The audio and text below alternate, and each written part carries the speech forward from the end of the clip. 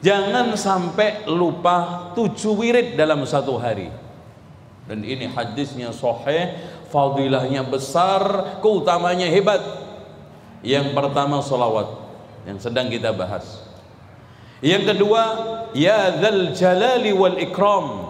Rasulullah mengatakan, alidhu bi dzil jalali wal ikram. Lazimkan membaca ya dzal jalali wal ikram.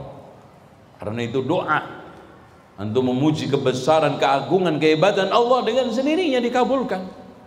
Yang ketiga baca la haula wala quwata illa billah, diberikan kekuatan hebat dahsyat. Yang keempat astaghfirullah wa atubu ilaih.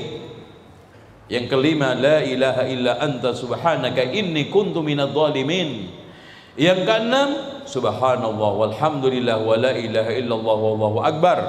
Yang ketujuh dibaca oleh dua khalil Khalilullah Ibrahim alaihissalam ketika dijeburkan Namrud ke dalam api untuk disiksa membaca hasbunallah wa ni'mal wakil. Saat Nabi Muhammad diancam mau diserang ribuan pasukan padahal habis perang berdarah-darah banyak yang mati banyak yang luka perang Uhud akan diserang kembali. Hasbunallah wa ni'mal wakil.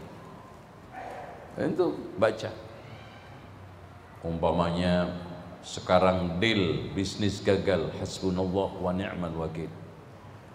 Lamaran ditolak hasbunallah wa ni'mal wakil. Oh itu. Mertuanya langsung berubah. Itu manggil lagi. Suruh ke sini anaknya. Insya Allah saya setujui 20 tahun lagi. Ya. Assalamualaikum warahmatullahi wabarakatuh Alhamdulillah wassalatu wassalamu ala Rasulillah wa ba'd. Ikhwatal iman rahimani wa rahimakumullah. Maukah Anda mendapatkan pahala dari setiap orang yang menghafalkan Al-Qur'anul Karim? Di belakang kita ada sebuah ma'had yang sedang dibangun Masya Allah. Itu ma'had tahfidh Al-Imam An-Nawawi rahimahullah ta'ala yang pada ma'had ini insya Allah ta'ala akan melahirkan santri-santri dari santri yang hafizul Quran, menghafal Al-Quran secara 30 juz secara sempurna, yang bermanhaj dengan manhaj salafus salih, berakhlakul karimah, maka ketika kita menyumbangkan sedikit kelebihan dari harta yang kita miliki, mudah-mudahan kita berharap kepada Allah Azza wa Jalla, harta tersebut akan bisa menyampaikan kita ke surga Allah Ta'ala. Setiap dari rupiah yang kita donasikan pada ma'ahad ini, ma'ahad tahfidhul Quran ini, maka mudah-mudahan kita berharap dari orang yang menghafalkan Al-Quran di ma'ahad ini, maka insya Allah ta'ala kita kebagian andil dari pahalanya. Allah Azza wa Jalla mengatakan, wa ta'awanu 'alal birri wa taqwa. Saling tolong menolonglah kalian dalam permasalahan apa? Kebaikan dan juga ketakwaan kepada Allah. Maka kami masih membuka donasi dari pembangunan Mahat Tahfidz Alim Manawi ini ikhwan sekarang sedang berlangsung pengecoran lantai ketiga insya Allah akan berlangsung pengecoran lantai ketiga. Dan seterusnya nanti akan lantai keempat dan selanjutnya.